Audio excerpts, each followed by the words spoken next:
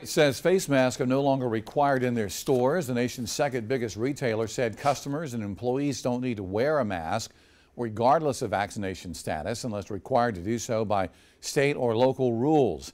Earlier this month, Walmart and Amazon dropped mask requirements for fully vaccinated employees.